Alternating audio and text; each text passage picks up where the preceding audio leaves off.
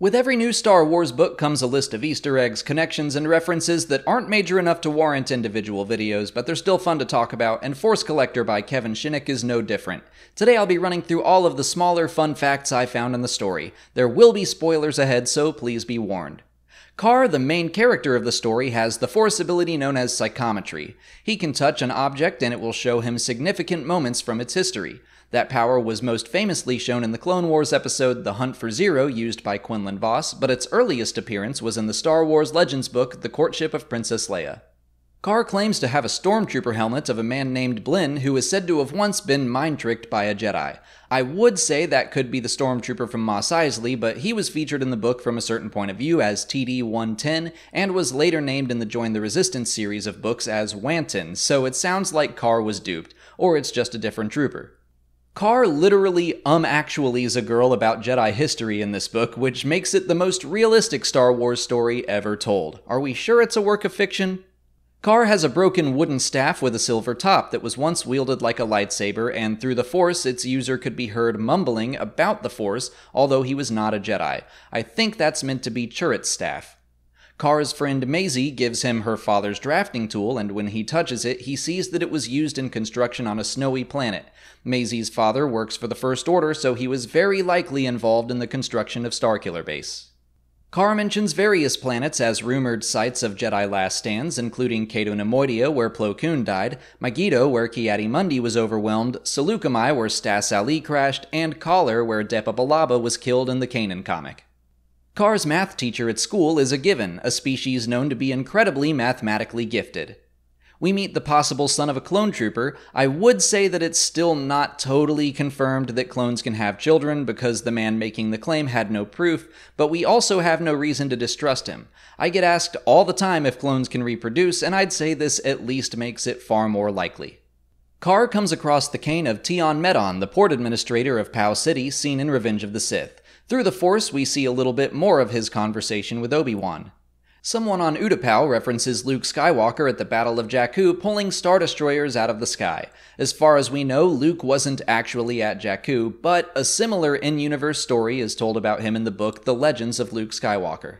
Mirialan tattoos are mentioned being applied when a member of their species completes a certain task, and a high number of tattoos was an indicator of status. That was all first established in Legends.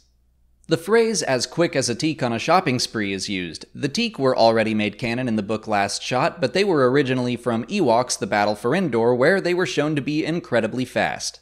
This feels like something that might be known already and I just missed it, but the gate at Niima Outpost is said to be a Hutt design, which is why it matches similar Hutt locations on planets like Tatooine or Teth. A Taylander shuttle is seen on Jakku, a ship that first appeared in Attack of the Clones and was used prominently in the Clone Wars and Star Wars Rebels. Karr visits Jakku while Rey is still on the planet, and he explores the Falcon, finding the training remote and getting a vision of more of the scene with Luke and Obi-Wan training. He also visits Oba Diah and the crash site of Sifo Dyas' shuttle after a Pike brags to him about being descended from the people who shot the Jedi Master down he finds what's left of the Jedi T6 shuttle 775519 and discovers a holoprojector with the final words of Sifo Dyas. He tried to tell the Jedi Council of his order for the clone army, but the message was never received. Silman, the missing aide of Chancellor Valorum from the Clone Wars episodes that first explored Sifo Dyas' disappearance, is also mentioned. Karr meets Nabrun Leids at a bar on Oba Diah, who tells him the story of seeing a Jedi use his lightsaber to cut off an Aqualish's arm. Leeds was the Morseerian character briefly seen in A New Hope. Karr then visits Dok-Ondar on Batuu, where he speaks with him through his translator, a dark-skinned woman with a shaved head. She first appeared in the Galaxy's Edge comic by Ethan Sacks. Dok gives Karr a broken lightsaber in exchange for a favor. The lightsaber once belonged to the Grand Inquisitor, and its damage matches what happened to it in Star Wars Rebels. The favor Karr performs is delivering a package to Maz Kanata. It winds up being 3PO's missing arm from his one shot comic, the story which told us about how he got the red arm. She wonders how Dok possibly could have gotten the arm out of that creature's belly. Maz also shows Karr Luke's Yavin medal, which was apparently given to her by Han when he couldn't pay his bar tab, although he claimed it was his. Maybe Maz gives the medal back to Leia in The Rise of Skywalker, since we see one of them in the teaser. Karr visits the planet Kijimi, which will be seen in Episode 9. Kijimi City is high atop Mount Izukika. And those are all the smaller details I picked out of Force Collector. If you're interested in listening to the book for free, you can do that by clicking on the link in the description or by visiting www.audibletrial.com slash Star Wars Explained. The sound design on the Star Wars audiobooks is always really great with music and sound effects. It's like listening to a movie. It's out today, and if you sign up for a free 30-day trial, you'll get a credit for one free audiobook, and you can use it on Force Collector, or you can use it on any number of other Star Wars books, or get any book you want. The point is, you get a free audiobook and you'll be supporting the channel when you do.